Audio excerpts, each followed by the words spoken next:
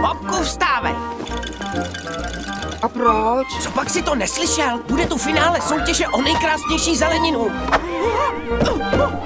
Nová dobrodružství oblíbených králíků z klobouku jsou tady. Zlatý kořen musí být můj.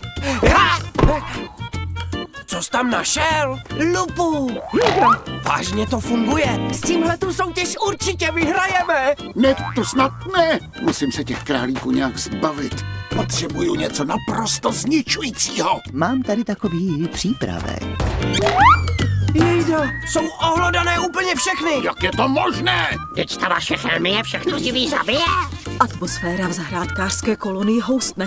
Řádí zde totiž zeleninový fantom. Aby to tak nebyl mrkvoje. Co budeme dělat? Najdeme ho a vytrestáme. Bob a Bobek ve filmu Fakt se musíme v noci. Vždyť to říkal soused, pan Chytráček. A mám vás. Tam se, co tady děláte. Jsme na stopě zákeřného mrkvojeda.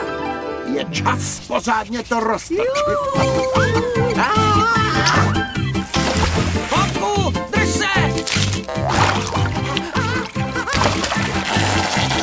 To je zmatek. Co se to děje?